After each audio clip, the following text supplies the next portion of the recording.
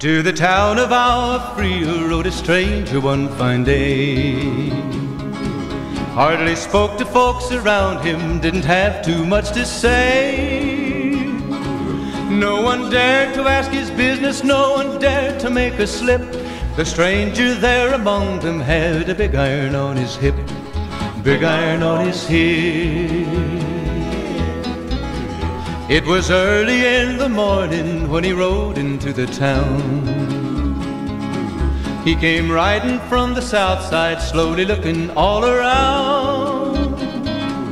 He's an outlaw, loose and running, came the whisper from each lip.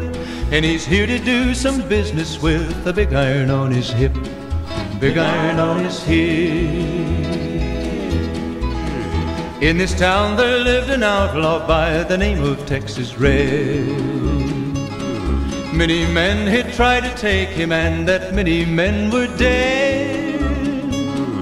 He was vicious and a killer, though a youth of 24, and the notches on his pistol numbered one in 19 more. One in 19 more. Now the stranger started talking, made it plain to folks around. Was an Arizona Ranger, wouldn't be too long in town. He came here to take an outlaw back alive or maybe dead. And he said it didn't matter, he was after Texas Red, after Texas Red. Wasn't long before the story was relayed to Texas Red.